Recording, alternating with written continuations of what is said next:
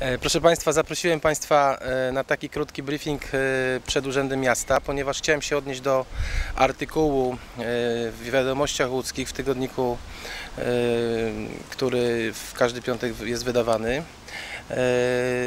na temat zachowania radnego i ujęciu jak gdyby w tym artykule mojej skromnej osoby i wymienieniu mnie jako, jako wiceprezydenta miasta w nieprawdziwej informacji, która została przekazana po raz kolejny w tej gazecie e, mieszkańcom e, naszego powiatu, mieszkańcom miasta na mój temat. E, Otóż chciałem powiedzieć, że nieprawdą jest to, co napisano w tej gazecie. Jakoby kilka lat temu użyłem sformułowania wobec jednego z radnych, że jest hamem. Nigdy takiego sformułowania wobec nikogo nie użyłem.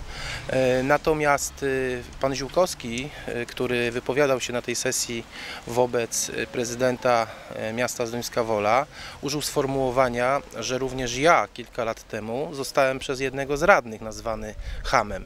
E, A to jest zasadnicza różnica, dlatego, ponieważ jest to nie pierwsza taka informacja, e, która dotyczy mojej osoby i nie ma nic wspólnego z prawdą.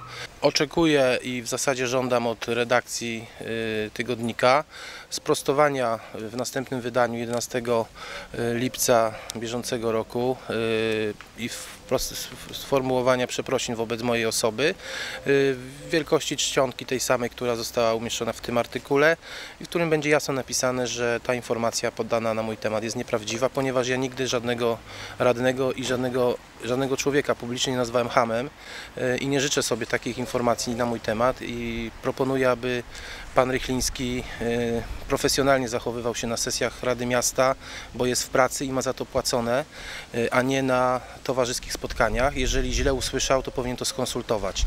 Y, To nie jest pierwsza informacja. Kilka tygodni temu, kilkanaście dni temu pojawiła się również informacja nieprawdziwa w tej gazecie, jakobym ja odmówił spotkania z rodzicami protestującymi w szkole podstawowej nr 13. Ta rozmowa miała miejsce z redaktorem naczelnym.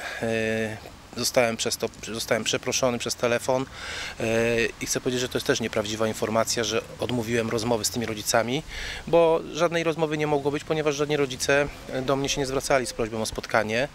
Zgłaszali się y, o spotkania do prezydenta miasta, nie do mnie. Jest między nami pewna różnica i funkcji, i nazwisk, i imion, więc trudno mylić Andrzeja Brudskiego z Piotrem Niedźwieckim. I w zasadzie tyle mam na ten temat do powiedzenia. Myślę, że funkcja publiczna, którą zajmuję, na pewno pozwala i, i wręcz zobowiązuje do tego, żeby, żeby pisać o urzędnikach publicznych y, jak najwięcej, y, krytykować ich również, jeśli jest do tego podstawa. Natomiast nie uważam, aby wolno było y, w tym naszym demokratycznym kraju przy wolności słowa pisać nieprawdę. Po prostu uważam, że to jest nie w porządku, jeśli pisze się nieprawdę. Jednocześnie chciałem powiedzieć, że jeśli moja prośba czy oczekiwanie nie zostanie spełnione, jeśli chodzi o przeprosiny, to publicznie informuję, że złożę, złożę pozew cywilny przeciwko redakcji y, o zniesławienie mojej osoby i będę żądał y, wysokiego odszkodowania, myślę, że na poziomie 10 tysięcy złotych na rzecz y, stowarzyszeń działających na rzecz osób niepełnosprawnych w Zduńskiej Woli.